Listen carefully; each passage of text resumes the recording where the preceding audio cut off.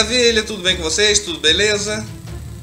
A partir de agora, o Jornal André Mourinho, jornal cheio de notícias até o fim. Edição de domingo, 7 de novembro de 2020. Vamos às manchetes. Miliciano Adriano da Nóbrega fazia parte de rachadinhas de Flávio Bolsonaro, diz Ministério Público do Rio. Caso Mari Ferrer. Ministério Público quer impedir advogados usar precedentes das vítimas de violência sexual. Líderes mundiais parabenizam Biden pela vitória à Casa Branca. Amargurado, Trump não aceitará a derrota para Biden, apontam fontes. LeBron rap, rape no, oh, rap no, né? Jogador de futebol, né? Rap no, Susan Biles, não, minto, Simone Biles, quer dizer, Simone Biles. Simone Biles. Atletas comemoram vitória de Biden nos Estados Unidos. Então repetindo. LeBron James, Megan Ray, Megan Ray, Megan, tá complicado. Né? Megan Rapinoe, Simone Biles, atletas comemoram vitória de Biden nos Estados Unidos. Conheça a história de Japonai, o MC que, viu, que viralizou, desculpa, depois de levar gravata de segurança no metrô. Olho na tela na coluna esplanada.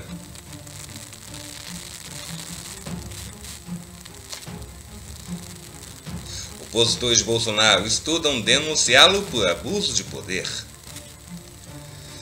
Funcionalismo promete enxurrada de ações na justiça se reforma passar no Congresso. Na coluna Informe do Dia, do Sidney Rezende, na guerra pelo Rio.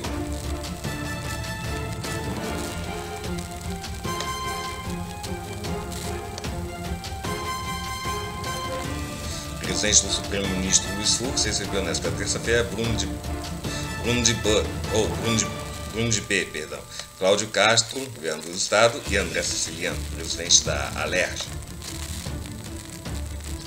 Estação Guinhar do BRT fica destruída após incêndio. Seis países reportaram casos de Covid-19 em Visons, diz OMS. Na coluna FEC, Futebol Esporte Companhia, Flamengo, vai a CBF tentar a liberação de Pedro e Everton Ribeiro da seleção. Cavalier e Warley testam positivo para coronavirus e desfalcam Botafogo. Médico de Maradona se diz preocupado com o futuro do craque. Eleição no Vasco tem momento de confusão e agressão física.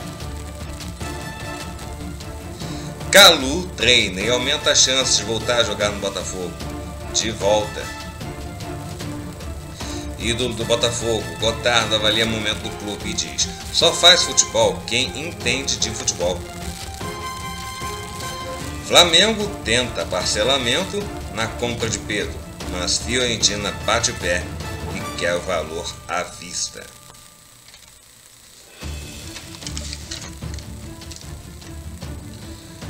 CBF marca jogos atrasados do São Paulo no Brasileirão. Confira as datas. Tite testa positivo para a Covid-19 e pode desfalcar o São Paulo contra o Flamengo. Cavalier e o Arley testam positivo para coronavirus e desfalcam o Botafogo. Não, mas essa notícia já... Não, essa notícia já... É notícia já foi dita. Essa manchete já foi dita. Mas vamos lá. Justiça suspende eleição presidencial no Vasco. Na coluna Gaza, sobe para 4, número Diamantes, do cantor Thier. Aquele cantor de pagode, é. Zé Felipe faz ensaio de noivado com Virgínia Fonseca. Ex-BBB relata perseguição de fã e desabafa tem limite. A apresentadora da Globo é conhecida nos bastidores pelo bom coração. Famosos marcam presença em inauguração de restaurante japonês no Rio. Renata Kirtan estreia na rádio em programa diário. Rafa Kalimann anuncia afastamento de redes sociais após ataques. Patrícia Cardoso, esposa de Marcelo Adnet, mostra barrigão de nove meses. Tico Santa Cruz surge usando apenas meia no órgão genital em clipe. Danilo Gentili debocha de namoro de Whindersson e recebe resposta de humorista. Na coluna no WhatsApp, será que Joe Biden recebeu 21 mil votos de pessoas mortas na Pensilvânia? Será que. Muito bem, muito bem, muito bem.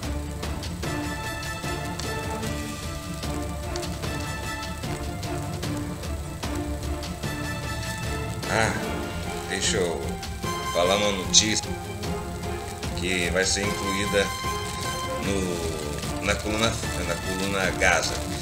Indiciado pela polícia do Rio, o youtuber Felipe Neto se defende em live. Onde está o crime? Agora sim, na coluna no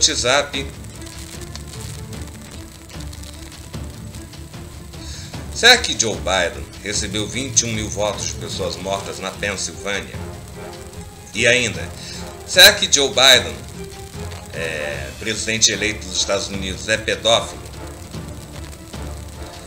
E ainda, será que o atual presidente dos Estados Unidos, Donald Trump, colocou marca d'água secreta em cédulas de votação?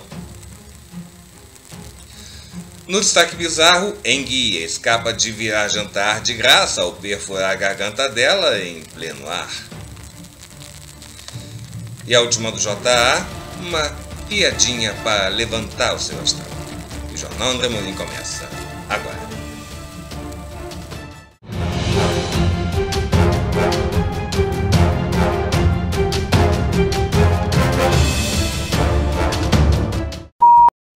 Quem pensa diferente de mim não é meu inimigo. Podemos discordar em muitos assuntos, mas conhecemos a importância da democracia. Você, eleitor ou eleitora, escolherá neste ano um nome para sua prefeitura e outro para a Câmara de Vereadores. É uma missão muito importante. Escolher quem vai definir o futuro da sua cidade nos próximos quatro anos. E nesse momento, não importa se você é rico, pobre, de esquerda ou de direita, cada voto tem a mesma importância. Então, vamos combinar o seguinte? Busque informações sobre os candidatos, o que eles já fizeram antes, as propostas que eles têm agora. Se você escolher com atenção, vai se lembrar em quem votou e depois pode cobrar os seus representantes. Vote com consciência. O futuro da sua cidade depende do seu voto. Eleições 2020. Fique do lado da democracia.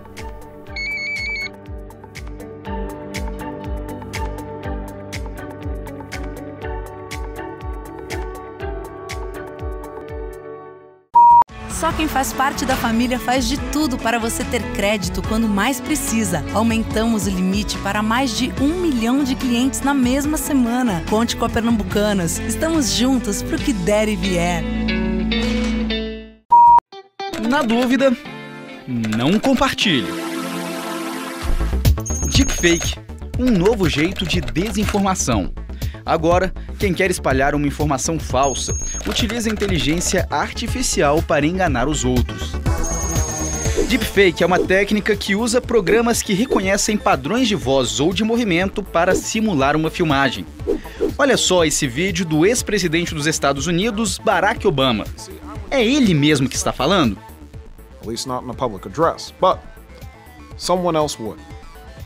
É uma montagem. Na verdade, quem está falando é um ator.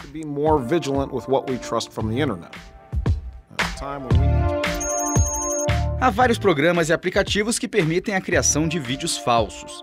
O deepfake foi utilizado inicialmente para fazer montagens de material pornográfico com atrizes famosas, mas já há casos de discursos políticos fictícios feitos com a técnica. Por isso, muita atenção! Em vídeos falsos, é possível encontrar detalhes como rostos embaçados ou bocas que não acompanham a fala. Além de tudo, o eleitor pode contar também com a maior aliada contra a desinformação, a checagem dos fatos. Não compartilhe um conteúdo sem ter certeza que é verdadeiro.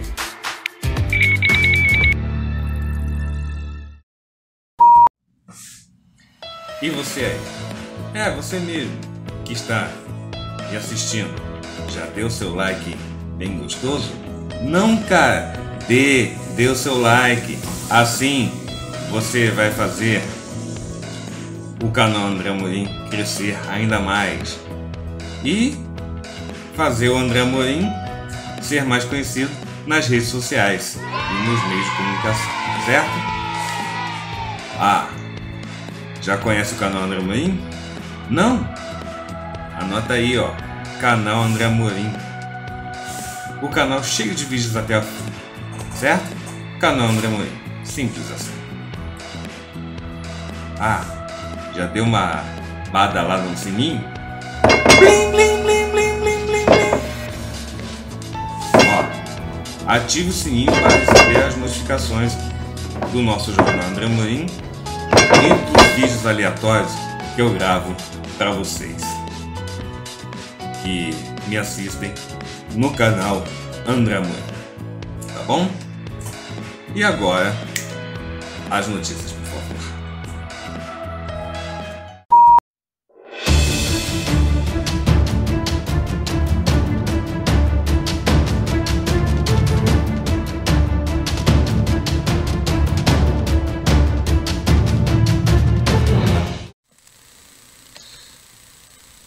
na verdade, esta edição é a edição de domingo, dia 8 de novembro, não dia 7 de novembro.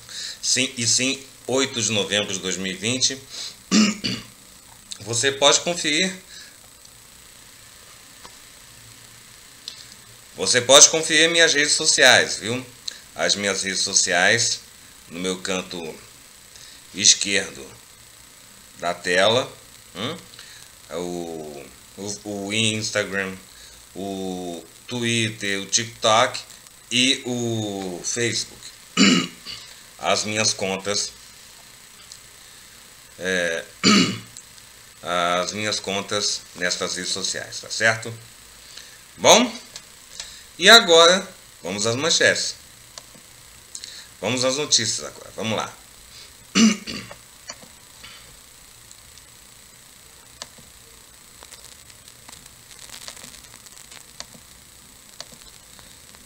Vamos?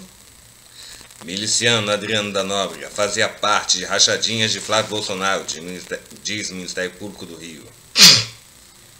Segundo a denúncia, no período em que a mulher e a mãe do ex-policial eram contratadas como assessoras do então deputado, teriam sido desviados R$ 1.029.042,48 da Alerj.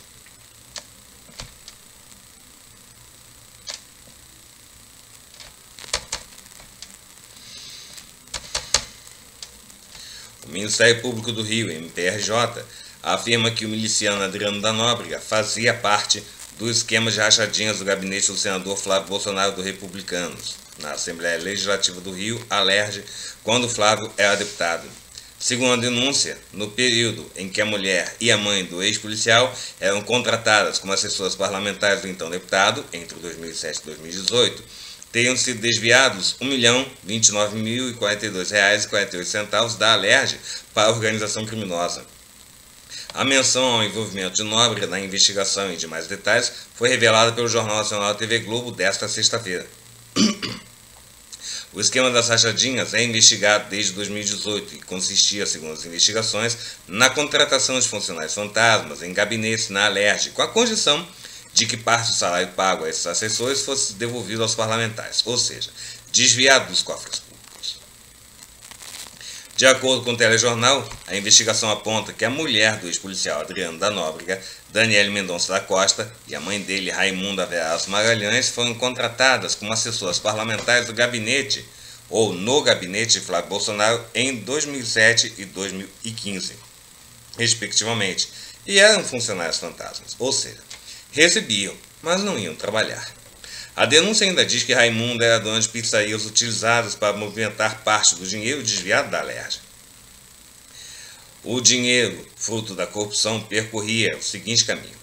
Conforme a investigação citada pelo Jornal Nacional, após o desvio da Alerj, seguia para as pizzarias e era direcionado para contas do também assessor parlamentar Fabrício Queiroz por meio de transferência dos depósitos bancários. Queiroz, apontado como operador do esquema, foi contratado como assessor parlamentar de Flávio em 2007. Embora o miliciano Adriano da Nóbrega nunca tenha sido nomeado no gabinete de Flávio na Alerj, o Ministério Público do Rio sustenta que ele integrava o núcleo executivo da organização criminosa e que tinha relação próxima com Queiroz e Flávio. Capitão Adriano teria assumido o compromisso de conseguir empregar a mulher e a mãe como funcionários fantasmas e que elas devolveriam parte do salário por meio do esquema de rachadinhas. Procurado pelo jornal Dia oficialmente, o Ministério Público do Rio disse apenas que o caso já foi denunciado e está na justiça sob, sigilo. Vamos às respostas. Ao Jornal Nacional, a defesa de Flávio Bolsonaro afirmou que o senador não cometeu nenhuma irregularidade, que ele desconhece supostas operações financeiras em três servidores da LERJ e que os fatos serão esclarecidos no tempo e no foro adequados. A defesa de Fabrício Queiroz diz que as imputações não correspondem à verdade, o que, segundo ele, será demonstrado na defesa judicial. As defesas de Raimunda Veras Magalhães e Daniele Mendonça da Costa não foram localizadas pelo telejornal nem pela reportagem do jornal o Dia.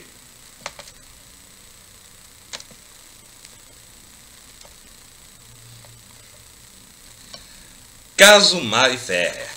Ministério Público quer impedir advogados de usarem precedentes das vítimas de violência sexual. O objetivo é aumentar a proteção à dignidade da vítima de crimes sexuais e proibir perguntas e utilização de referências à experiência sexual anterior da vítima.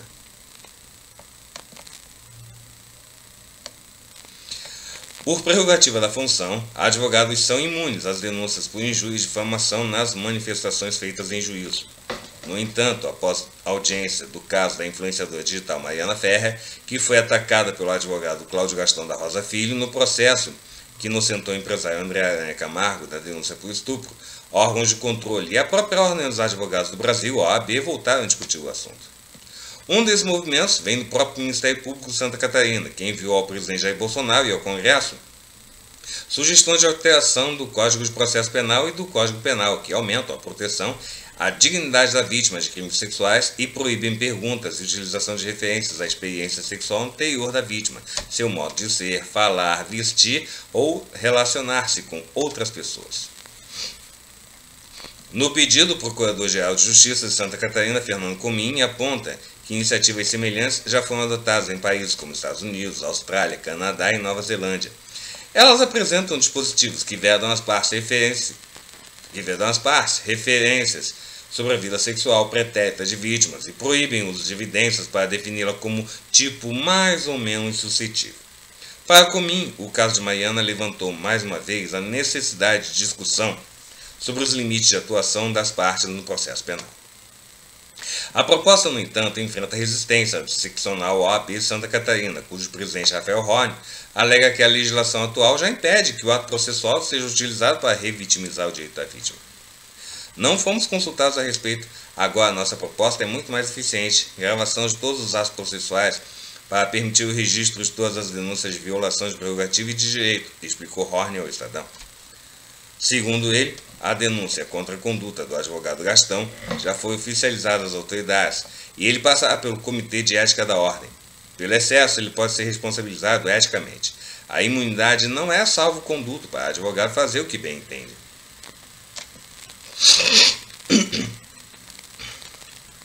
Líderes mundiais parabenizam Biden pela vitória à Casa Branca. Até agora, o democrata obteve 273 dos 538 delegados possíveis. Vários líderes mundiais felicitaram o candidato democrata Joe Biden pela vitória na eleição para presidente dos Estados Unidos, segundo cálculos de meios de comunicação norte-americanos. Biden será o novo presidente do país depois de ter conseguido os 20 votos do estado da Pensilvânia. A contagem de votos não terminou, mas dados da agência Reuters apontam que o democrata obteve 273 delegados dos 538 possíveis, enquanto o republicano Donald Trump teve 214. Após o anúncio, os principais líderes da União Europeia parabenizaram Biden pela vitória. O presidente da França, Emmanuel Macron, disse por meio de uma rede social que quer trabalhar em conjunto com Biden para superar os desafios de hoje. Os americanos escolheram seu presidente. Parabéns, arroba Joe Biden, que é B-I-D-E-N. E Kamala Harris, que é arroba Kamala com K Harris. H-A-R-R-I-S. Temos muito que fazer para superar os desafios de hoje. Vamos trabalhar juntos. A Joe Biden é J-O-E, tá, gente? B-I-D-E-N. Mensagem semelhante foi publicada pelo, pelo primeiro-ministro espanhol, Pedro Sánchez, que, que parabenizou o povo dos Estados Unidos por ter escolhido seu 46º presidente. O povo americano elegeu seu 46º presidente. Parabéns, arroba Joe Biden e arroba Kamala Harris. Desejamos-lhe boa sorte. Estamos prontos para cooperar com os Estados Unidos e enfrentar juntos os grandes desafios globais, escreveu. Quem também enviou congratulações a Biden, ou parabéns, né, a Biden, foi a chanceler alemã Angela Merkel. Seu porta-voz, Stefan Seibert, publicou um comunicado no qual Merkel diz estar contente com a futura colaboração com Biden. Nossa amizade transatlântica é insubstituível se quisermos superar os grandes desafios deste tempo, diz Merkel.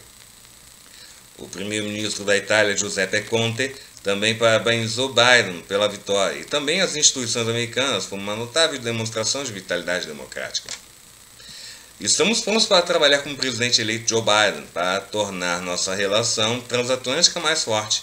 Os Estados Unidos podem contar com a Itália como um sólido aliado e um parceiro estratégico, escreveu no Twitter. O primeiro-ministro de Portugal, Antônio Costa, também usou sua conta no Twitter para parabenizar Biden pela vitória. Parabéns ao presidente eleito Joe Biden. Espero que em breve possamos trabalhar no reforço das relações transatlânticas e na gestão de assuntos globais, como as, como as alterações climáticas, a defesa da democracia e a segurança internacional, escreveu Costa numa publicação em português e em inglês. O primeiro primeiro-ministro do Reino Unido, Boris Johnson, na verdade o primeiro-ministro do Reino Unido da Grã-Bretanha, na verdade, né, Boris Johnson, também parabenizou os eleitos. Parabéns, arroba Joe Biden e arroba Kamala Harris, escreveu Johnson. Lembrando que Kamala é com K. K-A-M-A-L-A. Harris, H-A-R-R-I-S. Tá? Na Índia, o primeiro-ministro Narendra Modi, que é Modi, né? Também parabenizou Biden e disse que a atuação dele como vice-presidente Barack Obama contribuiu para o fortalecimento das relações entre os dois países e que espera que essa relação agora atinja um patamar maior. Parabéns, arroba Joe Biden, em sua vitória espetacular. Como VP, sua contribuição para o fortalecimento das relações Indo-Estados Unidos foi crítica e inestimável. Estou ansioso para trabalharmos juntos mais uma vez para levar as relações Índia-Estados Unidos a um patamar maior. Na América do Sul, o presidente argentino Alberto Fernandes também, também felicitou Biden e Câmara pela vitória. Felicito o povo americano pelo comparecimento recorde nas eleições, uma clara expressão da vontade popular. Saudações para arroba Joe Biden, próximo presidente dos Estados Unidos, já arroba Kamala Harris, que será a primeira mulher vice-presidenta daquele país, disse Fernandes. Além de Fernandes, os presidentes do Chile, Sebastián Pinheira, do Paraguai, Mario Abdo Benítez, do Uruguai, Luiz Lacalle Pou e da Colômbia, Iban Duque, também usaram as redes sociais para, para parabenizar Biden e Câmara pela vitória.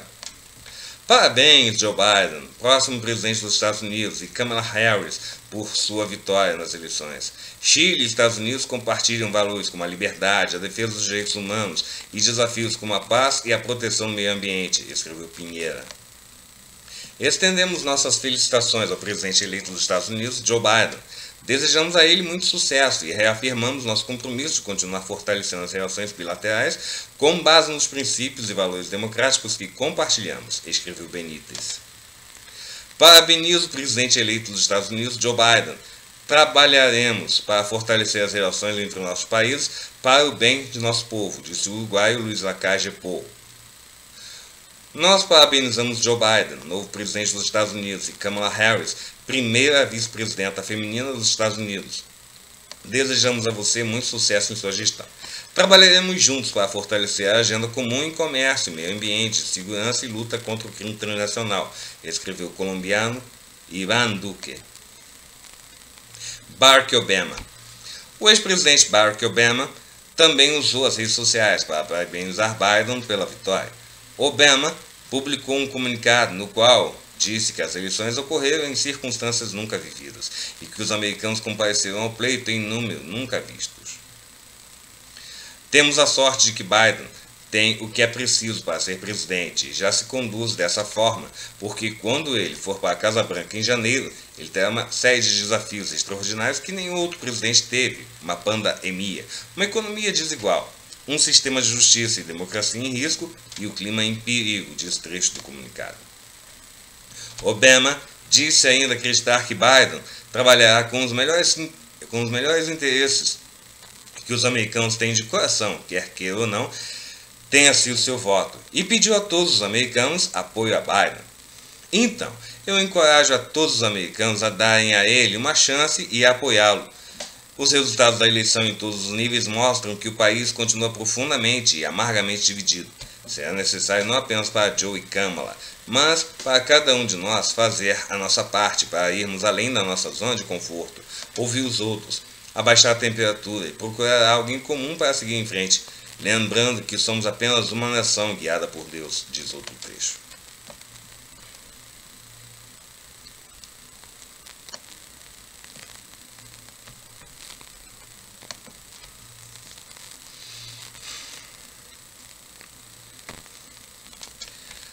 Amargurado, Trump não aceitará a derrota para Biden, apontam fontes.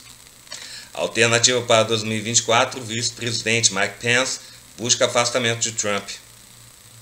Conforme apurado pela reportagem na CNN Internacional, com fontes ligadas à campanha de Donald Trump, o atual presidente dos Estados Unidos está inconformado com o resultado da eleição e não aceitará a vitória de Joe Biden, candidato democrata.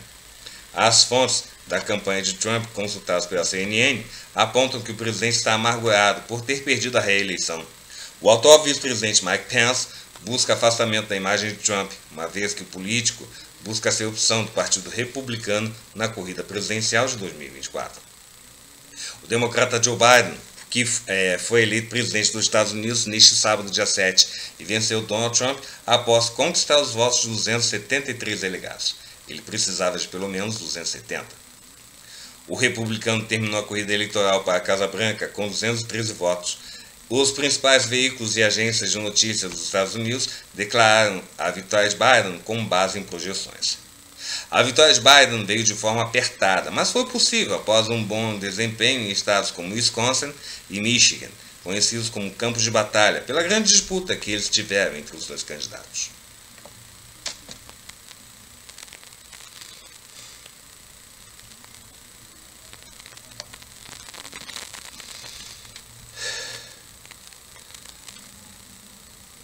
Agora, as notícias dos atletas, aí eu vou colocar é, né, no, no Futebol Esporte Companhia, tá?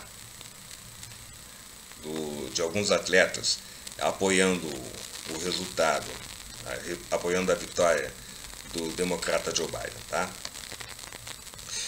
Vamos mudar um pouco de assunto. Conheça a história de Japonai, o MC que viralizou depois de levar gravata de segurança no metrô. O MC de freestyle já conquistou mais de 8 mil seguidores nas redes sociais e recebeu até convite de cantora famosa para gravar uma música. Com muita rima e um sorriso no rosto, Rick Braga, também conhecido como Japonai, voltou a rimar nos vagões do metrô neste sábado, depois de levar uma gravata de segurança do metrô e viralizar nas redes sociais. O artista contou ao jornal Dia que não quis corresponder à agressividade com a qual foi abordado e por isso teria continuado a rimar, ocasionando momentos de violência. Apesar do episódio ruim que viveu, o jovem ganhou mais de 8 mil seguidores de um dia para o outro e já recebeu até convite de cantora famosa para gravar uma colaboração. Apesar de ter ficado conhecido por um episódio de violência, Rick contou como começou a fazer arte nos vagões do metrô, nos vagões do Rio. Tudo começou quando uns amigos meus que faziam dança me chamaram. Fui lá, brinquei, aprendi e um ano depois começamos a fazer break dance no vagão. Nessa época já escrevia poesia e rimava em algumas batalhas, então queria entrar no vagão com a rima. Agora eu faço freestyle. É um estilo que eu inicio que rima com o que vê no momento. Reparo no estilo das pessoas e faço no improviso. Empolgado e com paixão na voz, o jovem afirmou que a arte é a sua única fonte de renda Isso é o que me mantém, minha primeira fonte de renda. Eu faço essa arte e aqui fora estou tentando aprender sobre o mercado financeiro. Tento um extra, mas só o metrô está me dando retorno, disse. O retrato de uma classe. Depois de ter gerado uma comoção na internet, Japonai disse que os artistas passam por situações como essa frequentemente e explicou como aconteceu o momento em que foi enforcado. O meu modo de falar foi o que fez eles agirem desse jeito. Eles me abordaram e pediram para eu acompanhar eles, e eu perguntei, como assim? Questionei a agressividade, o segurança falou que eles eram meio necess... que eram meios necessários, mas eu não queria corresponder à violência. Então continuei rimando, e foi, e foi quando aconteceu tudo aquilo que apareceu no vídeo. Neste sábado, dia seguinte do episódio, a MC voltou aos vagões e foi bem recebido. Algumas pessoas vieram falar comigo. Foi muito constrangedor para mim. Hoje eu fiz a apresentação do vagão e as pessoas me reconheceram e me ajudaram. Ficaram muito comovidos com tudo o que aconteceu, contou Rick. Próximos passos. Mesmo estando, mesmo estando reconhecido pela sua arte, Rick contou que ficou tímido com toda a repercussão nas redes. Por mais que me vejam fazendo arte no metrô, eu sou tímido. Tenho medo de lidar com uma possível explosão nas redes sociais. De ontem para hoje, quer dizer, na verdade, de anteontem para. É, quer dizer, de sexta para sábado, no caso, né? Ganhei quase 8 mil seguidores e a cantora Azul me chamou para fazer um feat com ela. A cantora Azul, para quem não sabe, é a esposa do, ou namorada né, do Christian Figueiredo, do youtuber Christian Figueiredo. Como todo artista, Japonai já tem os seus próximos passos previstos. Até então, quero aproveitar essas oportunidades que estão aparecendo para mim, mas quero fazer a mesma coisa, continuar pagando minhas contas, juntando para investir em um estúdio. Estou com quatro músicas para lançar. Fiquei parado no tempo da banda Emia e não está sobrando muito, mas estou com planos de lançar tudo isso em breve. Finalizou.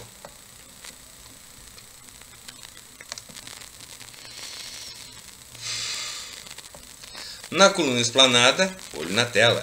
Opositores de Bolsonaro estudam denunciá-lo por abuso de poder. Os apoios eleitorais em vídeo do presidente da República, Jair Bolsonaro, estão na mira de opositores em Brasília, que estudam cada cenário para achar brecha para denunciá-lo por abuso de poder. Até sexta-feira, nada oficialmente, mas advogados eleitorais de partidos buscam imagens nas quais ele esteja dentro do Palácio do Planalto ou do Palácio da Alvorada, pedindo apoio a candidatos aliados. Os vídeos são distribuídos via WhatsApp pelo staff do presidente, staff quer dizer, pelo elenco, né? Pelo, pela equipe de apoio do presidente para alguns poucos candidatos, os quais ele apoia, ele apoia Brasil adentro. Corneta. Militares. E são milhares deles já que ocupam cargos do primeiro a terceiro escalões na esplanada, temem perder seus empregos para apadrinhados dos partidos do Centrão. Jeito B. Bolsonaro esboça mini-reforma ministerial para fevereiro. Pelo menos três ministérios terão mudanças e muita gente do CAP vai rodar. E na lista há nomes desconhecidos para os comandos das pastas. Vergonha. Com centenas de milhões de reais no orçamento anual, o STJ mostrou um pouco do que é o judiciário brasileiro. Muita pompa, sedes, boni sedes bonitas, togas lustradas e nenhuma segurança digital. Hackers invadiram os arquivos do tribunal e criptografaram, criptografaram tudo. Até sexta-feira à noite, os técnicos de força-tarefa das cortes não sabiam como resolver. Vio judicial. O hackeamento do STJ já rendeu extra-corte. Extra Alguns brasileiros receberam e-mails com origem duvidosa, avisando. Não, extra-corte, perdão. Alguns brasileiros receberam e-mails com origem duvidosa, avisando de processo na corte e um link com vírus. Pior, os hackers poderiam ter acesso a processos sigilosos e até quem é investigado pela Polícia Federal. Apagão. Situação continua crítica no Amapá, com todo o estado sem energia desde terça-feira à noite. Povo busca água no rio Amazonas para banho e para cozinhar. Água mineral esgotada nas gôndolas. Mercados e açougues perderam carnes perecíveis. Gerador do Hospital Estadual em Macapá é velho e requer cuidados. Torres de celulares que operam com bateria estática também podem falhar nas próximas horas. Muito bem. Muito bem.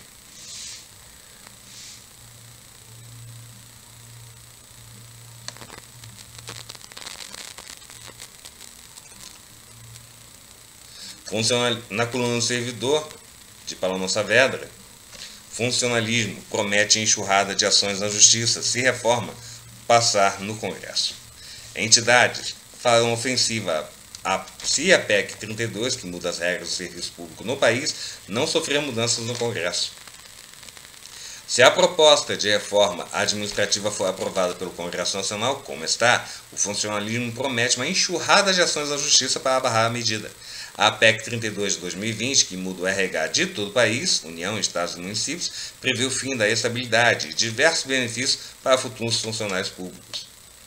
Porém, o texto também tem brechas para que a extinção de adicionais por tempo de serviço, como triênio, licença-prêmio, progressões automáticas e outros benefícios alcance os atuais servidores, como aponta um estudo divulgado na última quinta-feira pela Frente Parlamentar Mista em Defesa do Serviço Público.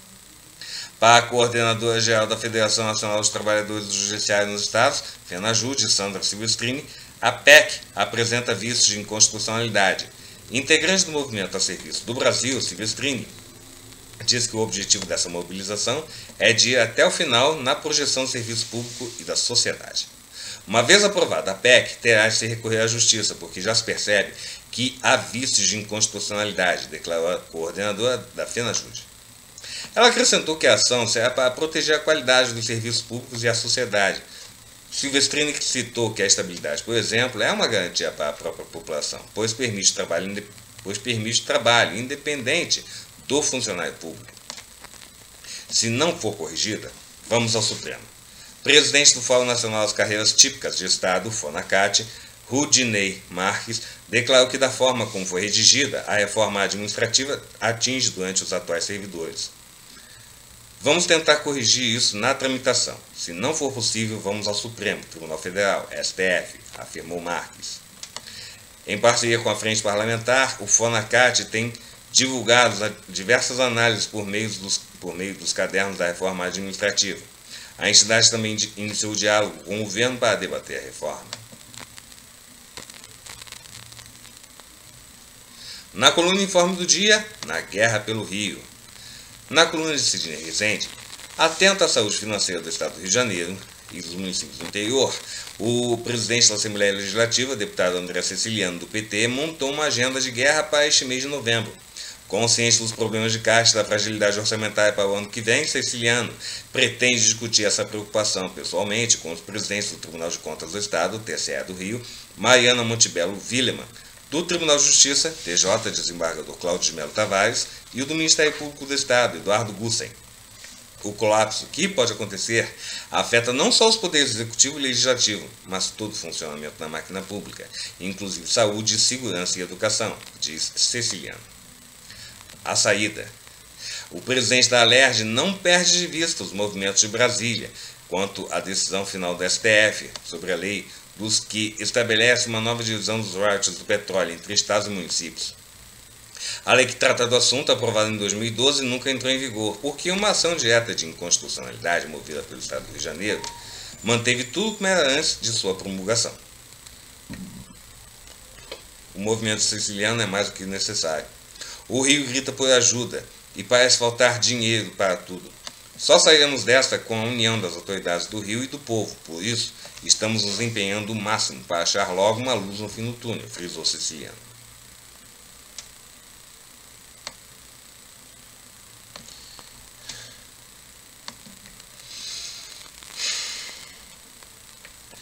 Estação Guinhar do BRT fica destruída após incêndio. Causa do episódio será informada após resultado da perícia. Desde abril, 100 estações do BRT sofreram atos de vandalismo, segundo o consórcio. O BRT informou que um incêndio destruiu a estação Guinhar, no corredor Transoeste, na madrugada deste sábado. De acordo com o consórcio, as causas ainda são determinadas pela perícia. A Guinhar é uma das 32 estações que estão fechadas após serem alvo de vandalismo e terem equipamentos furtados nos últimos meses. Desde abril, 100 estações do BRT sofreram atos de vandalismo, precisando ser fechadas e prejudicando os passageiros, de acordo com o BRT.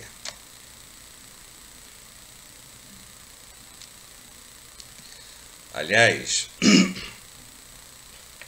aliás, a estação, aliás, tem uma estação BRT que reabriu, que foi a estação Vila Cosmos, da estação da, do corredor Transcarioca. A estação Vila Cosmos foi, foi pintada e foi trocou o letreiro e foi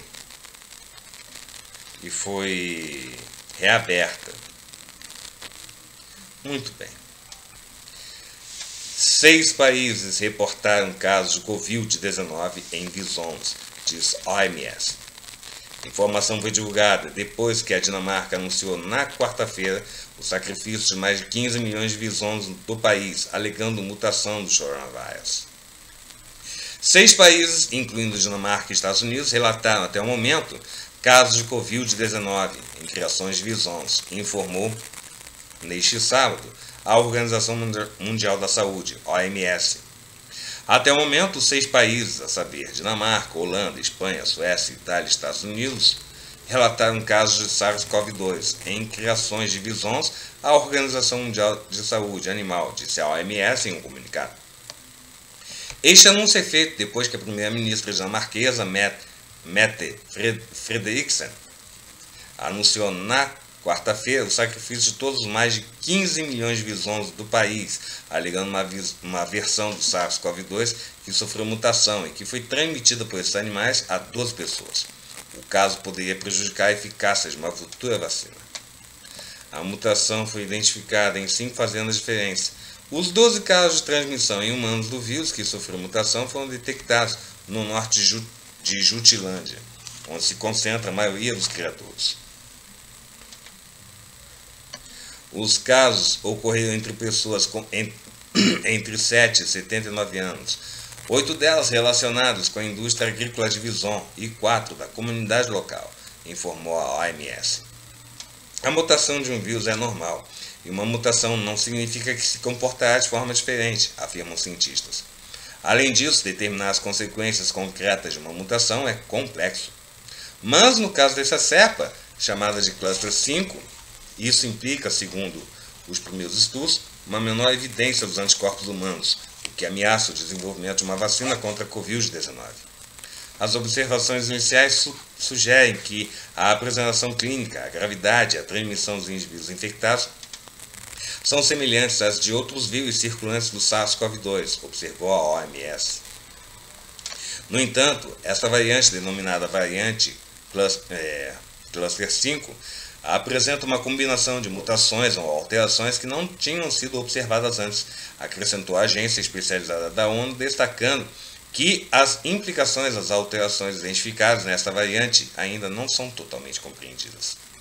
Os resultados preliminares observou a OMS e indicam que esta variante associada ao vison, identificada tanto nos visons quanto nos 12 casos humanos, apresenta sensibilidade moderadamente reduzida a anticorpos neutralizantes. Nesse contexto, a OMS apelou à realização de novos estudos científicos e laboratoriais para verificar estes resultados e determinar quais as consequências para o desenvolvimento de tratamentos e vacinas. Embora se acredite que o vírus esteja ancestralmente ligado aos morcegos, a origem do vírus e os hospedeiros intermediários do SARS-CoV-2 ainda não foram identificados, lembrou a OMS. Uma missão internacional composta por especialistas internacionais da OMS, da Organização para a Alimentação e Agricultura das Nações Unidas e da Organização Mundial para a Saúde Animal foi criada em colaboração com Beijing ou Pequim para determinar a origem do vírus. Em 30 de outubro, esses especialistas se encontraram pela primeira vez com seus colegas chineses, mas virtualmente. Dada a escala e complexidade da pandemia de Covid-19, Precisamos de um conjunto completo de investigações científicas na China e em outros lugares para encontrar os hospedeiros intermediários ou hospedeiro intermediário e as origens do vírus, disse esta semana a AFP, uma porta-voz da OMS para da, da Klala, ou falar da Klala.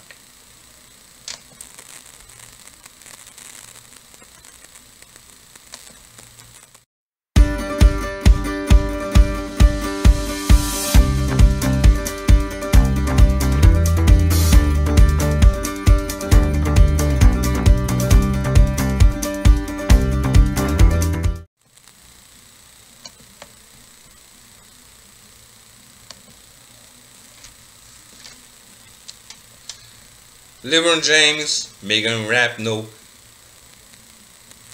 Simone Biles, atletas comemoram vitória de Biden nos Estados Unidos. Candidato do Partido Democrata venceu Donald Trump do, do Partido Republicano na corrida presidencial. Os Estados Unidos já têm novo presidente. De acordo com as projeções dos principais portais do país, Joe Biden, do Partido Democrata, venceu Donald Trump, do Partido Republicano, e se tornou o 46º presidente do país norte-americano. Alguns grandes atletas, como LeBron James, Megan Rapinoe e Simone Biles, se manifestaram nas redes sociais.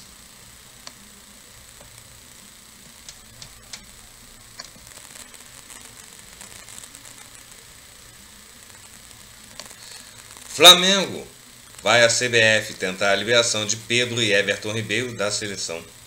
Rubro Negro terá o desfalque dos jogadores no jogo de ida das quartas de final da Copa do Brasil. Convocados para a seleção brasileira, Everton Ribeiro e Pedro desfalcaram o Flamengo no primeiro jogo das quartas de final da Copa do Brasil contra o São Paulo. No entanto, o Rubro Negro deve realizar um pedido à CBF para liberar os. Em conversa com o portal Coluna do Fla, o diretor de Relações Externas do clube, Cacau Cota, afirmou que o presidente Rodolfo Landim tratará sobre o assunto. Está com o Rodolfo Landim. Ele vai tocar pessoalmente a situação. E eu vou estar ao lado do, BEP, do BAP. Tem o jogo da volta que a gente não pode é, que a gente pode fazer um trabalho. Tudo que for possível, o Flamengo vai fazer. O possível e o impossível. O não a gente já tem. Vamos tentar de tudo. Por falta de atitude e empenho, a diretoria do Landim não vai pecar. É isso, vamos fazer o possível e o impossível. Vamos defender a instituição sempre, disse Cota, que emendou falando sobre os jogos atrasados do São Paulo. A questão dos jogos do São Paulo é da CBF. A entidade tem que dar uma satisfação disso. Eu cobrei pessoalmente aqui. Eles têm de ter tratamento igual. O que vale para um tem de valer para outro. Não tem que ter nada diferente disso, complementou.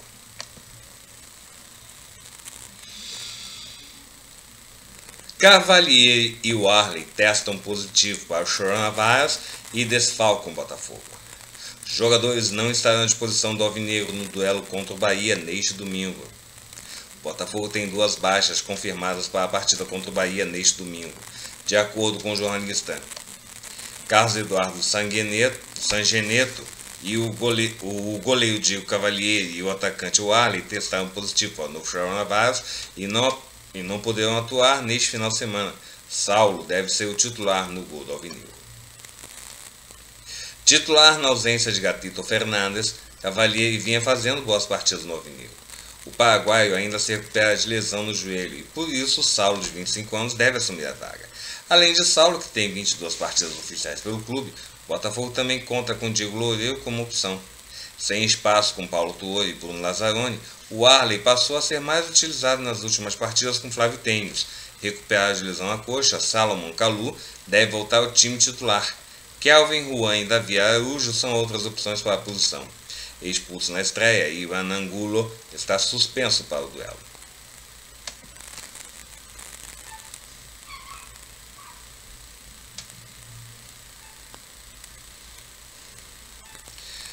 Médico de Maradona se diz preocupado com o futuro do craque.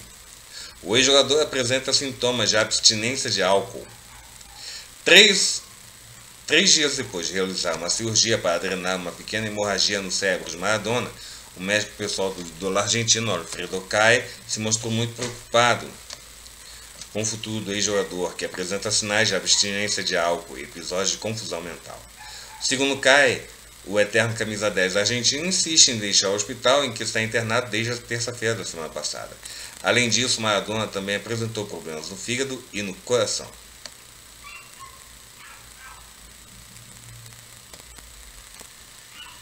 Ele tem se tratado para não ingerir álcool. Toda a família concorda que a situação é insustentável. Precisamos segurar o touro pelos chifres, já que ele tem problemas cardiovasculares. Temos de limpá-lo. O futuro de Diego é um mistério. Isso me assusta, afirmou Kai em entrevista à ESPN.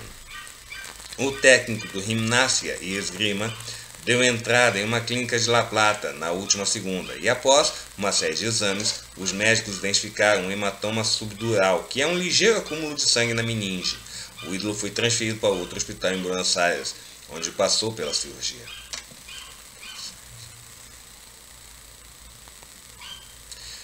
Eleição no Vasco tem momento de confusão e agressão física. Benemérito do clube, Luiz Manuel Fernandes, acusou Rodrigo Stockler, da chapa Sempre Vasco, de agressão. A tranquilidade que pairava neste sábado sobre São Januário durante a eleição presidencial do Vasco acabou. Grande benemérito do clube, Luiz Manuel Fernandes, acusa Rodrigo Stockler, fiscal da chapa Sempre Vasco, de agressão. A confusão aconteceu por volta da uma e meia da tarde, no ginásio de São Januário, onde ocorre a votação. Ele me deu um soco e eu caí para trás, disse Luiz Fernandes, antes de seguir para a 17ª Delegacia de Polícia Civil para onde seguranças do clube levaram Rodrigo. Após o entrever, o clima voltou à normalidade no ginásio de São Januário. Tentativa de suspensão.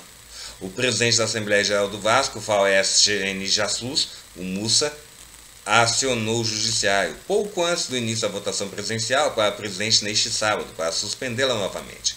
O dirigente fez um pedido de reconsideração ao desembargador Camilo Ribeiro Rulier, relator da decisão que nesta, ou melhor, que na sexta, que nesta sexta-feira determinou a realização do pleito. A informação é do site Esporte News Mundo e foi confirmada pelo jornal Lance.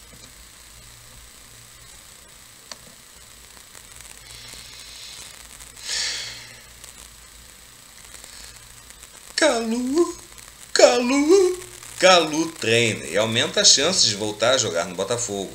De volta, atacante marfinense passou três semanas fora de ação para tratar a lesão na coxa. Flávio Tênis, que continuará sendo treinador na ausência de Ramon Dias, deve contar com um reforço de peso no Botafogo. Salomão Calu voltou a treinar e participou da atividade realizada nesta sexta-feira no campo anexo do estádio Newton Santos. O Marfinense não atuava desde a derrota de 3 a 1 para o Grêmio, no dia 14 de outubro. Desde então, vem fazendo um trabalho específico para se livrar de dores e uma pequena lesão na coxa. Nas redes sociais, o Marfinense comemorou o retorno aos gramados. Por meio de uma postagem no Twitter, Salomão Calu publicou uma foto sorrindo e com a legenda: De volta. Recuperado, o camisa 8 participou sem limitações da atividade deve ser opção para enfrentar o Bahia no próximo domingo na Arena Fonte Nova, pela vigésima rodada do Campeonato Brasileiro. Além do Marfinense, outra novidade no Alvinegro deve ser o retorno de Carlos Renteria. O colombiano, que também estava afastado por lesão, voltou a treinar e deve viajar para Salvador. Exclusivo. Ídolo exclusivo do Jornal Dia.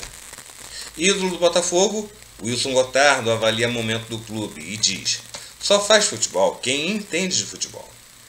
Campeão brasileiro com Alvinegro em 1995, o ex-zagueiro relembrou também a passagem como diretor técnico do clube em 2014.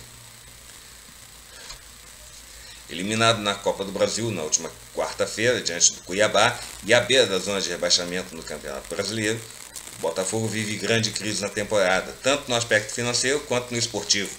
Integrante da equipe que conquistou o único título do Brasileirão do Alvinegro em 1995, o ex-zagueiro Wilson Gotardo comentou o momento do clube.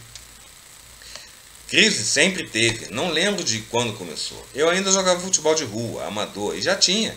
Aliás, todos os clubes no Brasil têm esse chamado. Neste caso, não há solução sem sacrifícios. Além da crise financeira, pandemia e politicagem, acredito que houve equívocos nas avaliações de modo geral. Afinal, este tipo de crise não se classifica por ano. Ela se arrasta por décadas. Só faz futebol quem entende de futebol, disse Gotardo ao jornal O Dia. Na última semana, o empresário Felipe Neto, torcedor e ex-patrocinador do Botafogo, escancarou os bastidores do clube.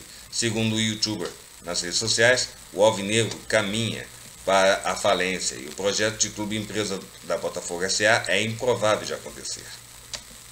Um dia depois, Carlos Augusto Montenegro, dirigente do clube, corroborou com as aspas de Felipe Neto e afirmou ter comprado bolas para o time treinar porque não tinha material disponível. Todo o clima ruim nos bastidores do futebol do clube culminou em um grande protesto dos torcedores, ocorrido no último sábado. Um grupo grande de fãs foi até General Severiano, cantou palavras de ordem para a diretoria e ocupou a sede horas antes do duelo contra o Ceará, que terminou em 2 a 2 Gotardo diz que entende o descontentamento da torcida, mas não concorda com a ocupação da sede. A torcida está insatisfeita com a produtividade e desempenho do time, e é claro que sempre acontece algo internamente que não sabemos. Ela tem o direito democrático de questionar, cobrar e ajudar a instituição se quiser, mas sem violência e depredação. Invadir a sede, eu não concordo, comentou o ex-zagueiro que somou duas passagens pelo Alvinegro, de 1987 a 1990 e depois de 1994 a 1996. Além do Botafogo, Gotardo também somou passagem por outros grandes clubes do futebol brasileiro, como Cruzeiro, Fluminense, São Paulo, Flamengo, Náutico, Esporte Recife e Guarani. Nove Negro, além do Brasileirão de 1995, o ex-zagueiro também conquistou os Cariocas de 89 de 1989 e 1990. Em 2014, o ex-jogador voltou ao Botafogo como diretor técnico, mas ficou apenas por uma temporada.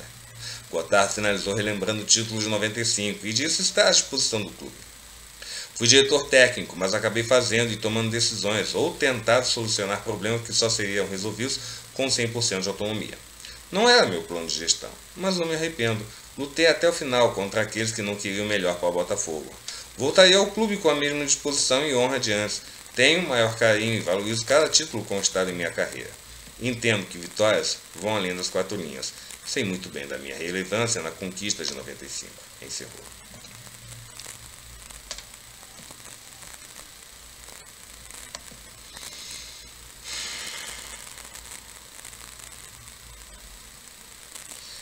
Exclusivo de o dia. Flamengo tenta parcelamento na compra de Pedro mas Fiorentina bate o pé e quer valor à vista. Diretoria rubro-negro e os empresários do atacante conversam com o time italiano, mas encontram dificuldades na negociação pela forma de pagamento da opção de compra estabelecida em 14 milhões de euros, cerca de 93 milhões de reais.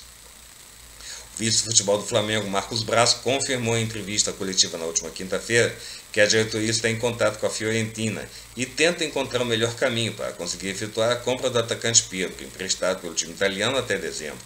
Porém, nos primeiros contatos, a cúpula rubro-negra e os representantes do atleta perceberam que a missão não será nada fácil. A ideia do Flamengo é convencer a Fiorentina a aceitar o parcelamento do valor da opção de compra estabelecida em contrato, que é de 14 milhões de euros, cerca de 93 milhões de reais. Além de não comprometer o fluxo de caixa, o rubro-negro usa o argumento de que com a pandemia do novo coronavírus, o clube sofre com a queda de receita e ainda enfrenta um problema econômico que foge do alcance, que é a valorização do euro. A diretoria italiana, entretanto, nas primeiras conversas, deixou claro que deseja receber o montante à vista, como está combinado desde o empréstimo do atacante. Um dos motivos de a Fiorentina ter essa atitude na negociação é a valorização de Pedro, desde quando o atacante chegou ao Flamengo. Artilheiro do Flamengo na temporada, com 20 gols e de volta à seleção brasileira, Pedro vive seu melhor momento na carreira.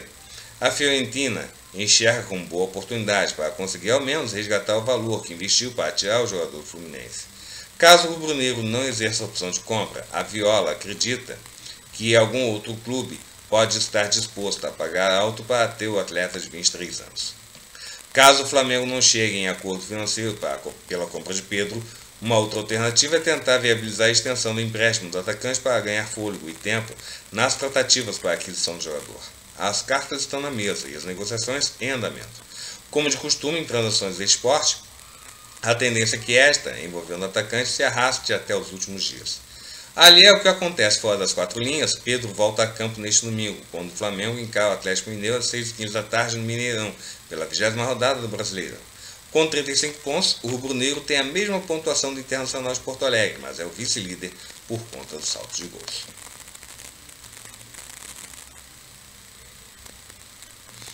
CBF marca jogos atrasados do São Paulo no Brasileirão. Confira as datas. Tricolor Paulista teve duelos com Goiás, Ceará e Botafogo postergados. O Flamengo pediu e a CBF atendeu. A entidade definiu nesta sexta-feira as datas e horários dos três jogos adiados do São Paulo no Campeonato Brasileiro. No primeiro turno, finalizado no último final de semana, o tricolor teve os confrontos com Goiás na primeira rodada, Ceará na 16 rodada e Botafogo na 18 rodada, postergados. Confira quando os jogos acontecerão. 25 de novembro, Ceará e São Paulo, às 7h15 da noite, no Castelão. 3 de dezembro, Goiás e São Paulo, às 9 horas da noite, na Serrinha. E 9 de dezembro, São Paulo e Botafogo, às 7 horas da noite, no Morumbi. Vale ressaltar que o jogo contra o Goiás da primeira rodada foi adiado por conta de um surto do novo coronavírus no elenco do time goiano. e os outros dois por conta de compromisso do tricolor paulista em outras competições. Atualmente na quinta colocação com 30 pontos, o São Paulo tem o melhor aproveitamento, 62,5%, e pode ter o título simbólico do primeiro turno se vencer esses três jogos remarcados. O tricolor volta a campo neste sábado contra o Goiás no Morumbi às 7 horas da noite, na abertura do segundo turno da competição nacional.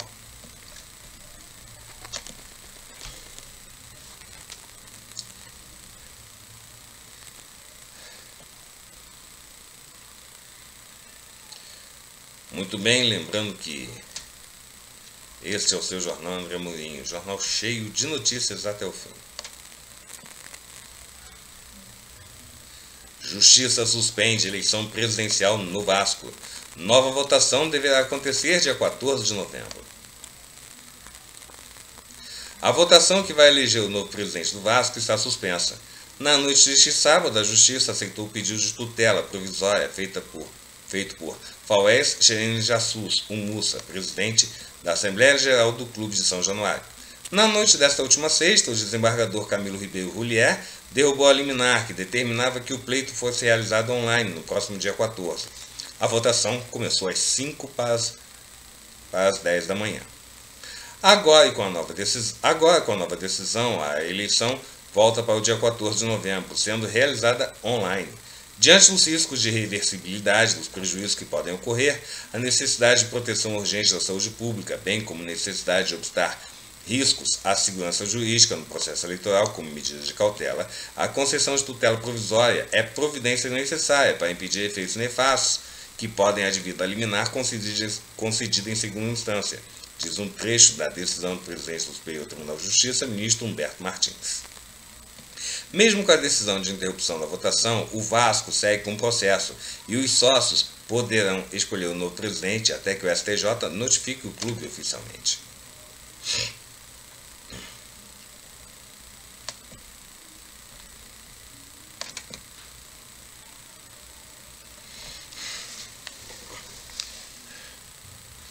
Muito bem, muito bem, muito bem.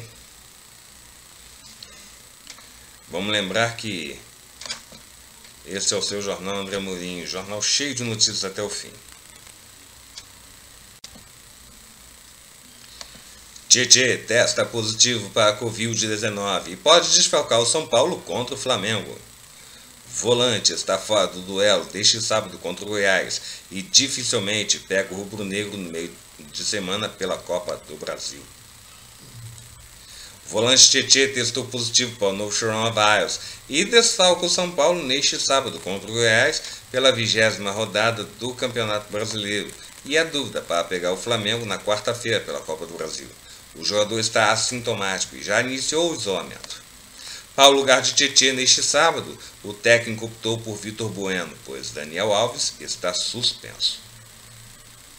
O São Paulo informa que o volante Tietê testou positivo para a Covid-19 em exame realizado antes da partida. O atleta está assintomático em isolamento e assistido pelo departamento médico do clube. É, é, foi o que disse a conta do São Paulo Futebol Clube no Twitter, cujo, cuja, cuja conta é arroba São Paulo FC.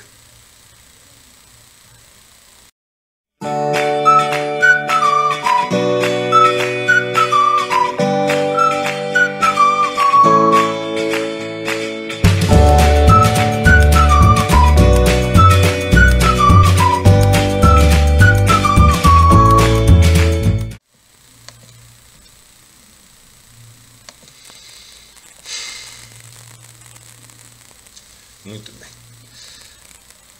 Exclusivo de o dia. Na coluna de Fábio Oliveira, sobe para 4 o número de amantes do cantor Thier. O sambista é casado há mais de 10 anos com Bárbara Marta. Depois que esta humilde coluna trouxe à tona que duas mulheres, Tamires e Bruna, tomaram ciência que mantinham ao mesmo tempo um relacionamento com o cantor Thier, nós descobrimos outras duas moças que passaram pela mesma situação. Detalhe importante, o sambista é casado há mais de 10 anos com Bárbara Marta, com quem ele tem dois filhos. Pois bem, a terceira moça com quem Thier manteve um relacionamento extraconjugal é a estudante de odontologia Ingrid Freitas. Ela trabalha como corretora de assistência médica. Já não tem mais envolvimento com o cantor há cerca de um ano. Eles se relacionaram por dois anos e chegaram a juntos, mas Ingrid colocou um ponto final no namoro após descobrir que Thier tinha outras namoradas. Procurada pela coluna, Ingrid confirmou que se envolveu com Thier, mas não quis abrir detalhes. Em nenhum momento eu quis expor essa, situação, desde que soube das outras mulheres no final do nosso relacionamento e através da mídia. Me senti muito mal, enganada, mas não faz parte da minha personalidade discutir relação nos veículos de comunicação. Infelizmente vivemos em uma sociedade machista que culpa a mulher por tudo. Até mesmo quando somos vítimas de abusadores. Para preservar a minha imagem, a minha paz, eu prefiro viver esta dor calada e gostaria que vocês respeitassem isso. Não vou negar que moramos juntos, que tivemos uma vida juntos, pois amanhã ou depois podem surgir fotos, vídeos e eu sair como uma mentirosa dessa história. Mas não vou expor a nossa relação. Foi bom enquanto durou, vou me refazer e que ele seja feliz, declarou Ingrid. A quarta integrante dessa trupe é a esteticista Amanda Brandão, que namorou Tia por um ano. Assim como aconteceu com Ingrid, o relacionamento terminou há cerca de um ano, quando Bruna, uma das moças citadas na matéria anterior, descobriu sobre o relacionamento dos dois. Segundo esta coluna apurou, hoje Amanda está noiva e não mantém mais qualquer tipo de contato com Tia. Procurada, ela confirmou o relacionamento, mas se esquivou de falar sobre o assunto. Prefiro não falar nada sobre isso em respeito ao meu noivo, se limitou a dizer. A coluna teve acesso ao áudio de um bate-papo entre duas mulheres, Bruno e Tamires, na semana passada, após a descoberta uma da outra. Elas conversaram e se apoiaram na dor da traição. Dói descobrir que estava há anos com uma fraude, disse Bruna. Já a Tamires contou até que tem um filho do sambista. Ele registrou, mas não paga a pensão, declarou. Procurada para falar sobre as puladas de cerca, a equipe de Tia se manifestou sobre o assunto com a seguinte declaração. O Thier não tem ciência sobre essas alegações. Desse modo, ele não tem nada a declarar. Então tá, né?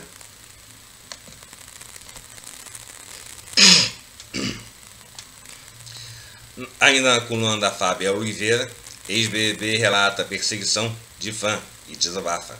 Loucura tem limite. Paula Amorim contou que a pessoa em questão a acusou de trair seu namorado Bruno Simões.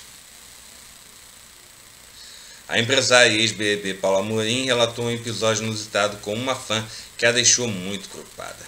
Acontece que Paula revelou que um de seus fãs começou a perseguir persegui-la após ela dar uma sumida das redes sociais e outros chegaram a acusá-la de supostamente estar traindo o namorado, o também ex-BBB Breno Simões. Segundo a empresária, tudo começou após ela filmar imagens do nascer do sol do quarto de hóspedes de sua casa.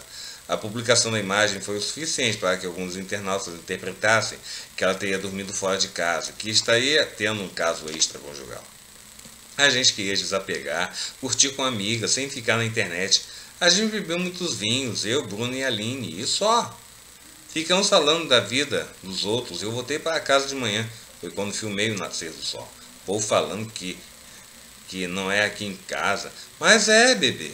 Normalmente eu filmo o pôr do sol, que é na varanda, mas o nascer do sol é no sentido contrário, que é ao lado oposto, na janela do quarto de hóspedes, explicou Paulo, que em seguida contou ter recebido uma, uma série de ataques. Mensagens bem loucas, como você está dormindo na rua, me xingando de palavras bem feias. Você está traindo Breno, terminou seu relacionamento. A gente está acostumado, apesar de ser loucura. Mas hoje as pessoas passaram do limite porque estão ligando no meu condomínio para saber se estou em casa. Paula revelou ainda que tentaram de todo jeito saber se ela estava ou não em casa. Ligaram duas vezes fingindo que tem documento para assinar. Não tem nada para assinar. Paula está em casa? Ela vai sair? Ela vai ficar em casa até que horas? Contou. A ex-BB ainda se mostrou receosa com esse tipo de posturas de seus seguidores. Até a loucura tem limite. Para! Às vezes a gente fica até com medo. Não sei se eu posso sair na rua hoje. Cuida da sua, cuida da sua vida, numa boa. Isso não é legal. Passou do limite.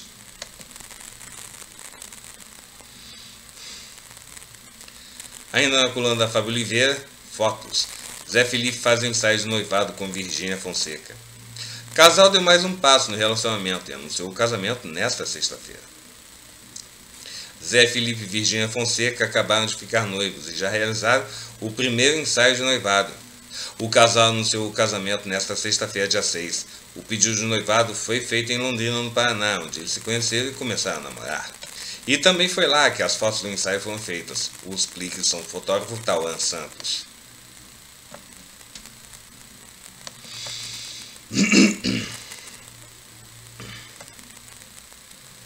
Na coluna da Fábio Oliveira, judia, a apresentadora da Globo é conhecido nos bastidores pelo bom coração. Flávio Fachel chega a emprestar dinheiro aos colegas. Quem acompanha o Bom Dia Rio está acostumado a ver o bonachão Flávio Fachel na tela. O que ninguém sabe é que a coluna conta agora para os seus seis leitores é que o apresentador é conhecido nos bastidores por seu bom coração. Inclusive, ele empresta, ele empresta dinheiro aos colegas menos afortunados.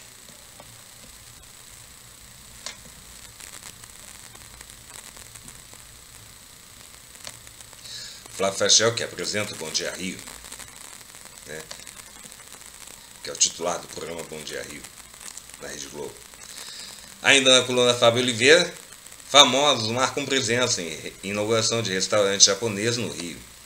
Mel Maia e mais atores estiveram no coquetel de inauguração do Kentaro Barra.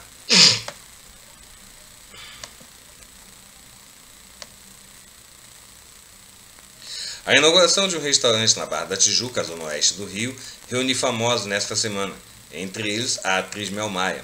Eles marcaram presença na abertura do restaurante japonês Kentaro. Também estiveram por lá os atores Natália Costa, Rick Tavares, Juliana Xavier, Xande Valois, Marcelo do Chacabum, Marcos Weinberg e as gêmeas Melissa e Nicole. O novo estabelecimento se destaca por trazer o conceito de Zakaia, lugar onde se encontra saque, e chegou com tudo na Aerotown, na Barra. O restaurante tem dois andares e chama atenção pelo lugar moderno e aconchegante. Na noite do coquetel de inauguração, muitos artistas aprovaram o novo Point. O Kentaro está com uma apresentação de pratos diferenciados e tudo com muito sabor, afirma a atriz Mel Maia.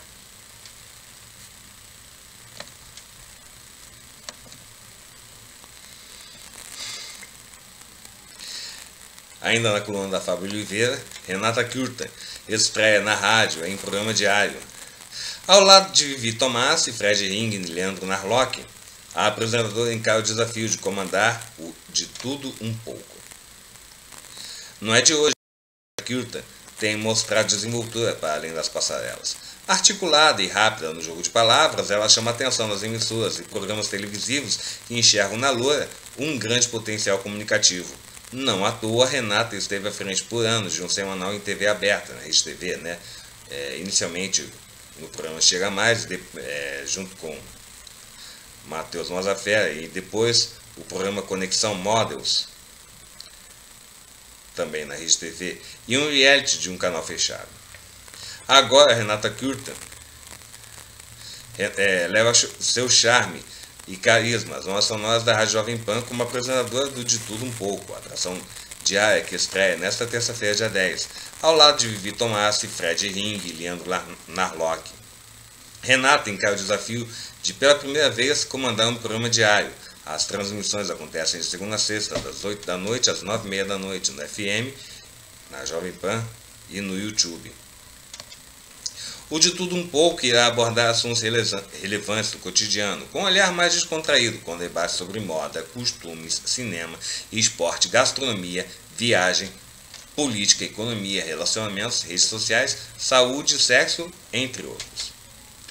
Adorei o convite da Panflix para este novo desafio. Estou estudando muito para a estreia.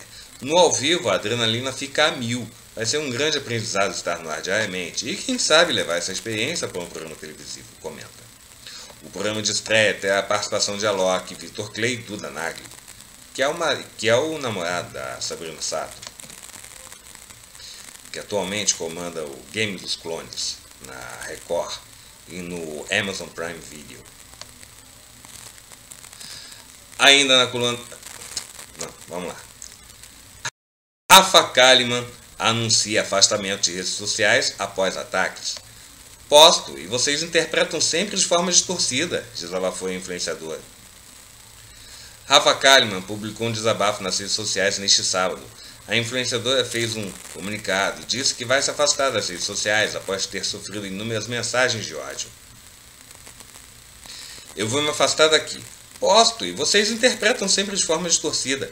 Perguntei como as pessoas na Amapá estão se sentindo por empatia. Sim, estou acompanhando as notícias de lá.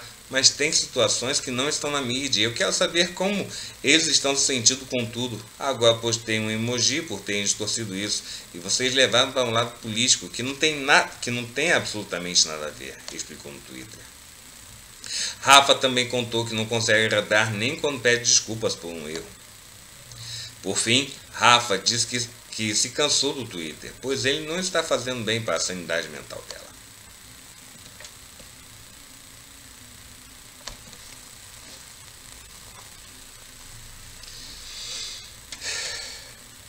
Patrícia Cardoso, esposa de Marcelo Aginé, mostra barrigão de nove meses.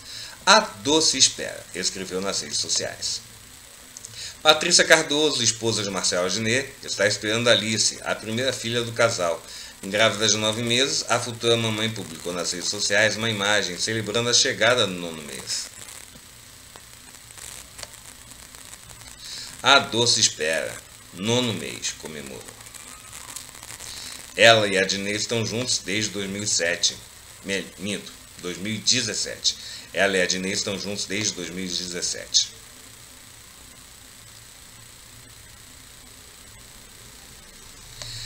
Tico Santa Cruz surge é, usando apenas meia no órgão genital em um clipe. Detonauta Rock Club lança a música Kit Gay nas plataformas digitais.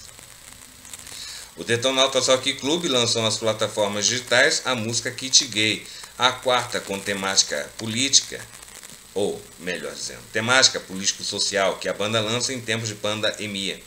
Eles também já divulgaram desde agosto deste ano Carta ao Futuro, Me Cheque e Mala Cheia. Tico também assina o argumento do videoclipe da música, com seus integrantes caracterizados como personagens do debate sobre as fake news, no vídeo, o cantor aparece apenas com uma meia cobrindo a genitália. Kit Gay é uma música que, fa que faz uma sátira com as fake news espalhadas nos últimos anos e ao longo das eleições. Lembra da mamadeira de. de. É, é, pênis, né? Para não dizer outra coisa. Terra plana, Lei Rouanet, antivacina e a capacidade insistente do presidente da República de mentir sistematicamente. Um rock divertido e ao mesmo tempo crítico, diz Tico Santa Cruz.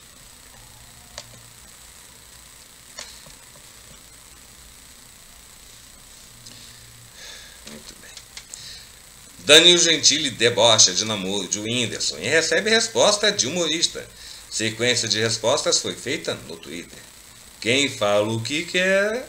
Danilo Gentili foi fazer piada sobre o namoro entre o Whindersson Nunes e Marina Lima. Não, Maria Lina, desculpa. Maria Lina. E recebeu uma resposta do paraense. Não, piauiense, quer dizer, né? No Twitter, o apresentador do De Noite compartilhou a notícia de que a estudante ganhou mais de 200 mil seguidores após a confirmação do namoro com um comentário irônico e uma foto da bruxa do desenho do pica-pau. Sem deixar passar, o Whindersson compartilhou a postagem de Danilo e comentou: humor. Bom, antes de comentar com bom humor, né? Que, fazer um comentário atravessado, mas enfim. Agora outra notícia aqui. Indiciado pela notícia do Rio, Felipe Neto se defende em live. Onde está o crime? Indiciado pela Polícia Civil do Rio de Janeiro na última quinta-feira, dia 5, o youtuber Felipe Neto fez uma live na tarde deste sábado, dia 7, para se defender das acusações de que divulgaria material impróprio para crianças e adolescentes em seu canal. Felipe atribui a apoiadores do presidente Jair Bolsonaro diversas representações do Ministério Público para tentar abrir processos criminais contra ele. Sou uma pessoa que defende os direitos humanos e o progressismo.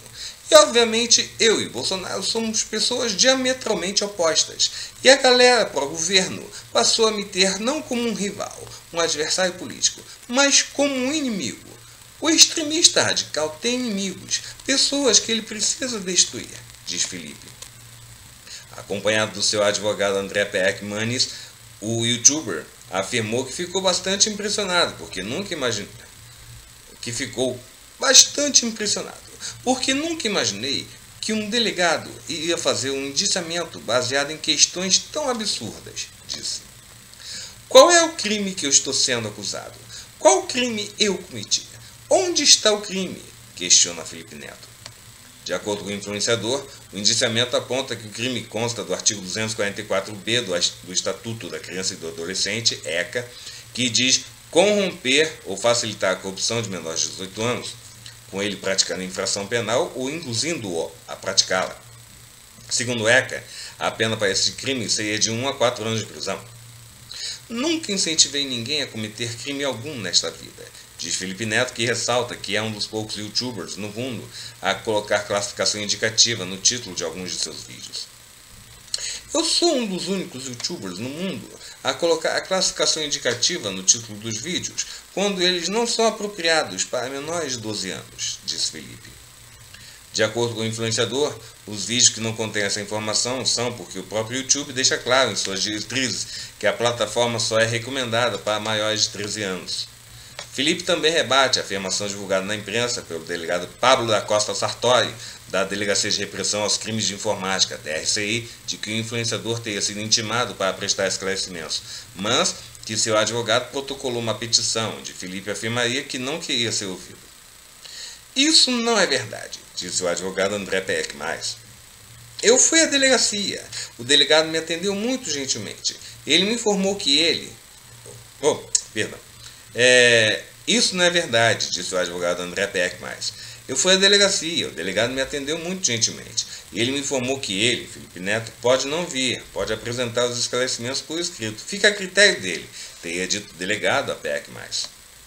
O advogado de Felipe teria informado o delegado, então, que ele preferia que Felipe, por uma questão de cuidado com a questão da pandemia, por ser influenciador, uma pessoa conhecida, e que possivelmente acabaria gerando aglomeração, já que o delegado deu a oportunidade de os esclarecimentos serem feitos por escrito, que eles optavam por essa maneira.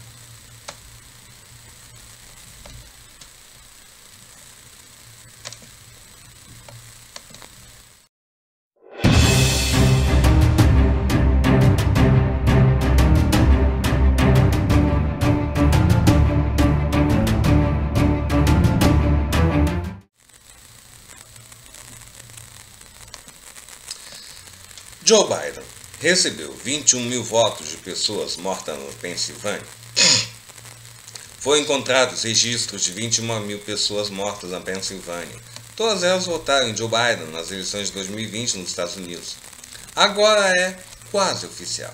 De acordo com a contagem de veículos de imprensa dos Estados Unidos, Joe Biden foi eleito como presidente do país Antes mesmo da confirmação, começaram a surgir na internet inúmeras teorias da conspiração que apontavam para uma suposta fraude nas eleições do país. A última das histórias aponta que Joe Biden recebeu 21 mil votos de pessoas mortas na Pensilvânia. Mensagens nas redes sociais que usam como fonte uma denúncia de uma entidade privada dos Estados Unidos apontam que essas 21 mil pessoas ajudaram na derrota de Donald Trump. Confira algumas das mensagens que circulam online. São três versões. A primeira, foram registrados 21 mil votos de pessoas falecidas na Pensilvânia. Essa eleição dos Estados Unidos já virou uma chacota. Segunda versão. 21 mil falecidos votaram em Joe Biden na Pensilvânia. Versão 3. A ajuda do além. Com 21 mil mortos votando só na Pensilvânia, Biden seria eleito. Os Estados Unidos têm a maior fraude eleitoral da história. Agora vem cá. Será que Biden recebeu 21 mil votos de pessoas mortas na Pensilvânia? A tal tese de que Biden foi eleito por pessoas mortas rendeu diversas mensagens e memes em redes sociais de direita no Brasil pró-Bolsonaro. Porém, a tal informação é falsa. Ela se baseia em uma denúncia já considerada improcedente.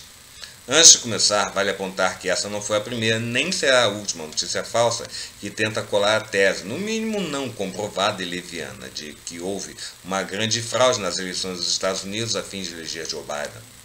Já admitimos teses falsas que apontavam para a marca d'água secreta em cédulas, cédulas vindas da, da China pró-Biden e supostos caminhões jogando votos de Trump no lixo. Ou seja, o tema é manjado. Ao analisar o caso, descobrimos que a tese surgiu após uma notícia em um site de extrema-direita dos Estados Unidos, tipo aqueles que temos por aqui. O site fez um estardalhaço com um pedido de uma entidade que apontava que 21 mil pessoas mortas estavam em listas de eleitores na Pensilvânia. A partir daí temos alguns detalhes. O primeiro é que, ao contrário do que apontam as mensagens, não há qualquer prova de que os eleitores em questão tenham votado Joe Biden, ou mesmo que tenham votado. O segundo é que a mesma entidade entrou com a mesma ligação nas eleições de 2016. Já na época, o PolitiFact destacou que não havia qualquer prova de que o fato do nome das pessoas estar na lista signifique que houve fraude. Além disso, o The New York Times descobriu que pessoas apontadas como mortas, olha só, estavam vivas.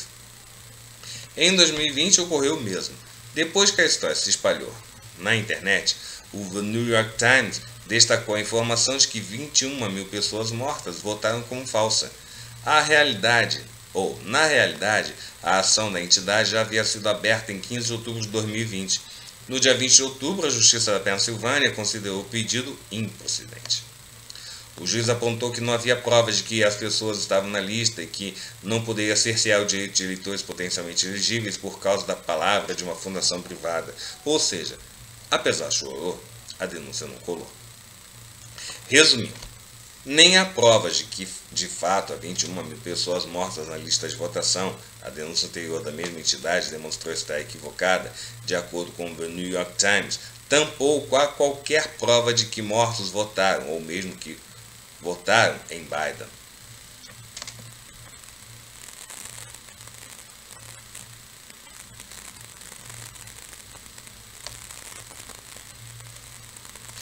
Joe Biden, candidato democrata à presidência dos Estados Unidos, é pedófilo.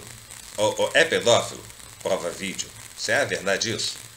Vídeos comprovam que o candidato democrata à presidência dos Estados Unidos, quer dizer, que o agora presidente eleito dos Estados Unidos, à presidência, ou melhor, que o presidente eleito dos Estados Unidos, Joe Biden, é um pedófilo.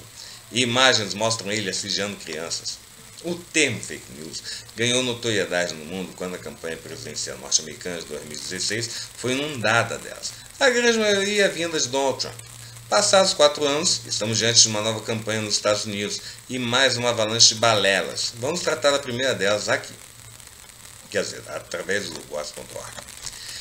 Tem circulando na internet um vídeo, que não iremos exibir no site, que seria a prova de que o candidato democrata à presidência dos Estados Unidos, Joe Biden, seria um pedófilo. As imagens, em câmera lenta e com uma música digna de filmes de suspense de quinta categoria, mostram que seria uma série de assédio do candidato. As publicações foram reforçadas por acusações do filho de Donald Trump, esses filhos de presidentes, hein? Donald Trump Jr. Eh, Donald Trump Jr. Em uma postagem, ele chega a falar com todas as palavras que Joe Biden seria pedófilo. No Brasil, as, as mensagens chegaram da seguinte forma: Primeira versão. Agora sim, a esquerda progressista mundial está querendo colocar um conhecido pedófilo na presidência dos Estados Unidos. Joe Biden flagrado sem conseguir se conter. Filho da mãe, canalha. Essa é a primeira versão. A segunda. Joe Biden, o candidato da esquerda progressista americana, democratas, Observem seu comportamento com as meninas, crianças e adolescentes. Agora vem cá. Será que vídeo prova que Joe Biden, candidato, candidato democrata à presidência dos Estados Unidos, é pedófilo? O vídeo criado na medida para impressionar os eleitores norte-americanos viralizou tanto que chegou ao Brasil. Só um detalhe: as acusações que envolvem Joe Biden em pedofilia não se sustentam. Antes de tudo, precisamos entender o que é pedofilia. Como foi falado neste texto, o senso comum acaba fazendo o termo ser utilizado de forma errada. A pedofilia, de acordo com a CID, Classificação Internacional das Doenças, é uma parafilia, ou seja, é considerada uma doença. O crime é o abuso de crianças e adolescentes. Relembre o que foi escrito sobre o assunto. Segundo a Classificação Internacional de Doenças, referência mundial para definir patologias, a pedofilia é uma forma de parafilia, assim como o sadomasoquismo, o voyeurismo, entre outros. Portanto, já é considerado uma doença. Sim, amigos, pedofilia é um tema médico e não criminal. No direito, não existe o crime de pedofilia. Tudo bem, mas se pedofilia não é crime, o que é crime? O que é considerado crime é o abuso sexual de crianças e adolescentes. E apesar de muita gente dizer que é tudo igual, na realidade uma coisa é X e outra é Y. Ou seja, uma coisa é uma coisa, outra coisa é outra coisa. Uma pessoa pode possuir a doença, a pedofilia, mas nunca consumar o ato, abuso sexual. No caso onde a pessoa não tenha controle sobre a doença e venha cometer o crime, então dizemos que houve um abuso sexual causado pela pedofilia ou por alguém que sofre da doença. Vale lembrar ainda que a possibilidade de a pessoa cometer o abuso sexual sem ter a doença. Quem decide isso é um médico. Partindo desse pressuposto, temos três hipóteses a serem avaliadas com base nas publicações. Primeiro, Joe Biden sofre da parafilia chamada pedofilia. Segundo, o termo foi utilizado de forma errada e há acusação de, de que Joe Biden abusa de crianças. 3. Joe Biden é o pedófilo e abusa de crianças. Como vocês viram, as acusações são gravíssimas, por isso mesmo precisaríamos de provas para sustentá-las. No caso da doença, um laudo médico. No caso da acusação de abuso, um inquérito policial ou uma denúncia formal. Sabe o que temos? Como diz o Tadeu Schmidt? Nada! Ao buscar sobre o assunto, Joe Biden pedofilia, só encontramos o vídeo, que tem um caráter probatório nível zero e diversos desmentidos na imprensa norte-americana sobre a acusação de Donald Trump Jr. contra o candidato democrata. O New York Times foi categórico ao falar que as acusações de Donald Trump Jr. não têm base nenhuma. O Vox fez uma análise em que aponta que não há qualquer prova contra as acusações de que a brincadeira vai ser a base para tornar ideias extremadas como comuns. A Forbes criou, é, citou uma resposta de Biden que, classifica, que classificou a publicação como doentia. E o site fact-checking PolitiFact classificou como muito falsa a acusação. Em todos os textos é citado que existe uma acusação de assédio contra Biden, de uma mulher adulta, porém não há condenação. Antes que você pense que a acusação o faz diferente do Trump, é bom lembrar que o presidente dos Estados Unidos carrega mais de uma dezena de acusações de assédio. Resumindo, não há provas de que Joe Biden seja um pedófilo ou mesmo que tenha abusado de crianças e adolescentes.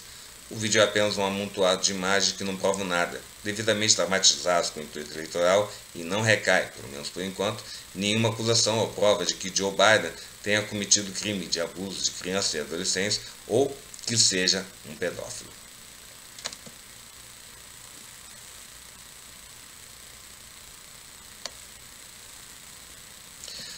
Trump colocou marca d'água secreta em cédulas de votação nos Estados Unidos?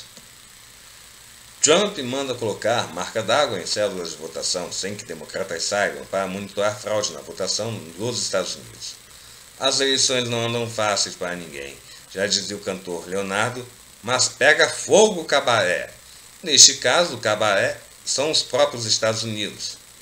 As eleições presidenciais estadunidenses têm deixado o mundo todo de cabelo em pé a atenção está grande, mas de acordo com os veículos de comunicação dos Estados Unidos, o resultado deve sair. O resultado, na verdade, o resultado saiu é, neste sábado e a tendência é para a vitória de Joe Biden. Na verdade, é, extraoficialmente, Joe Biden foi eleito. Né? Neste meio tempo, denúncia é o que não tem faltado, especialmente por parte do presidente Donald Trump. De acordo com ele, as eleições estariam sendo fraudadas. E é claro que os disseminadores de fake news não iriam sossegar frente a tanta confusão.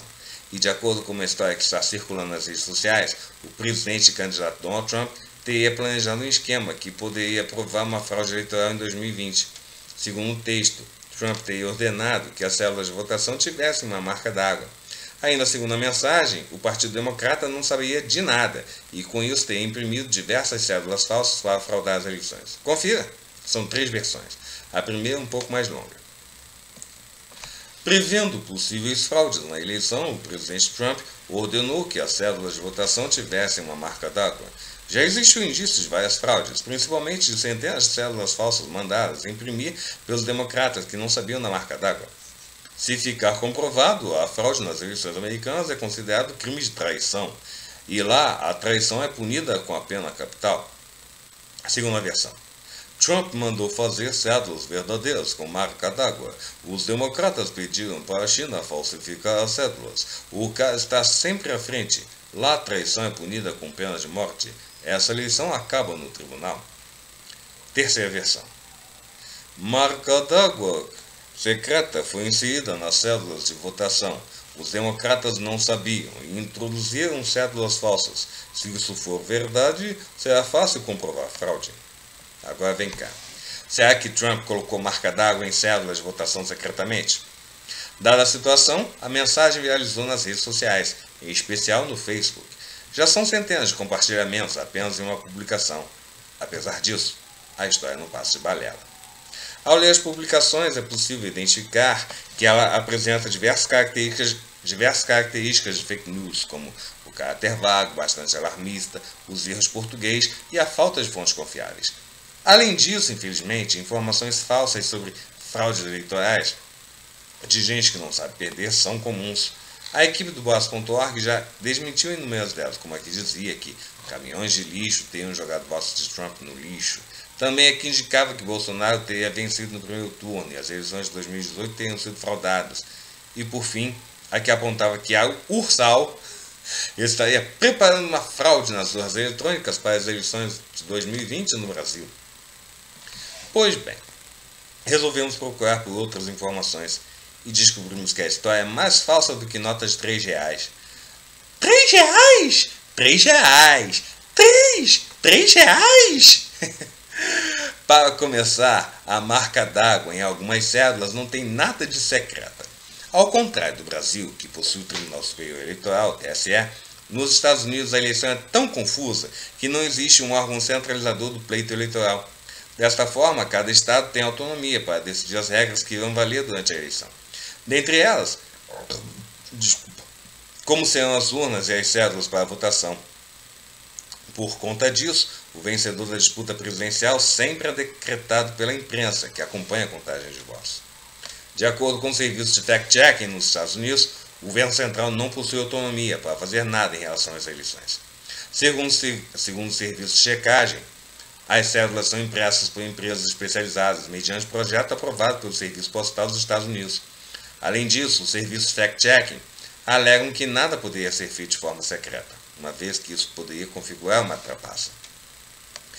Como se isso não bastasse, os serviços de checagem ainda indicaram que, de fato, alguns estados adotaram as cédulas com marca d'água, como a Califórnia, de forma pública e notória, e não secreta.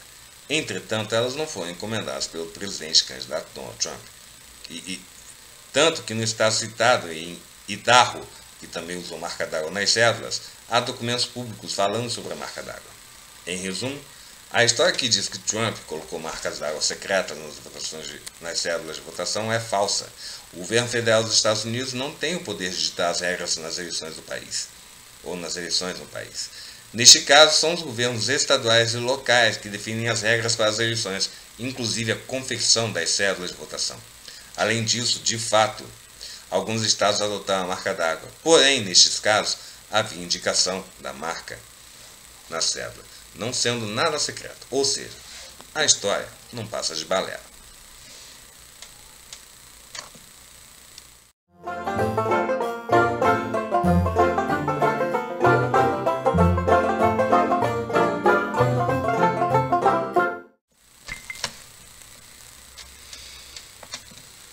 Enguia escapa de virar jantar de garça ao perfurar a garganta dela em pleno ar.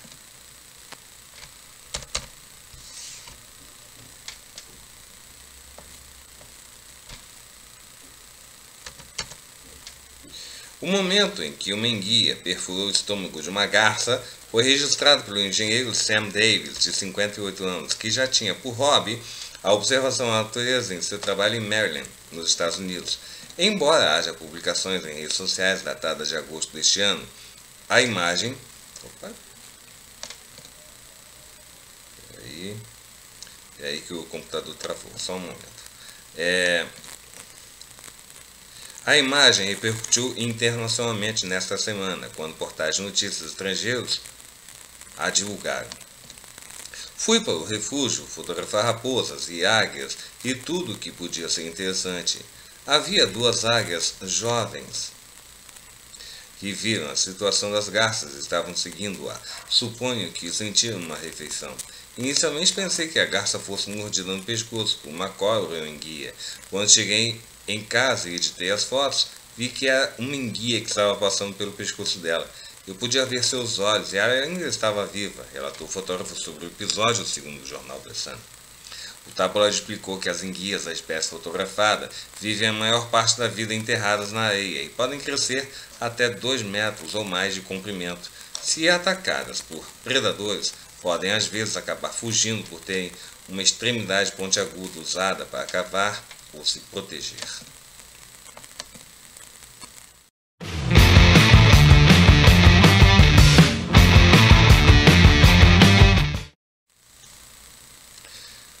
E a última do jornal André Mourinho, jornal cheio de notícias até o fim.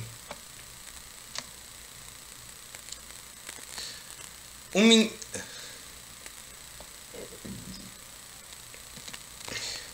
O queijo.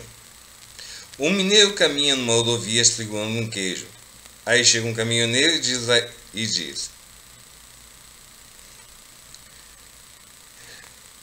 E aí chega um caminhoneiro e diz: Aê, vamos comer o redandão? Vamos comer o redondão? Junto o mineiro respondeu: Vamos, uai, mas quem vai segurar o queijo? E com essa, eu vou embora. Muito obrigado pela companhia e pela audiência. O Jornal André Amorim, edição de domingo, 8 de novembro de 2020. Fica por aqui um super beijo bem gostoso para vocês. Um forte abraço e até a edição de segunda-feira, dia 9 de novembro de 2020, se Deus quiser e os anjos do Senhor permitirem. Tchau, pessoal. A gente se vê por aqui. Melhor dia da vida de vocês, abençoados e abençoadas. A cobertura angelical com vocês, viu? Assim é. Ah, papai, nós não somos os criadores do universo, mas com certeza, ó, somos filhos do grande Criador. Fui! Fui!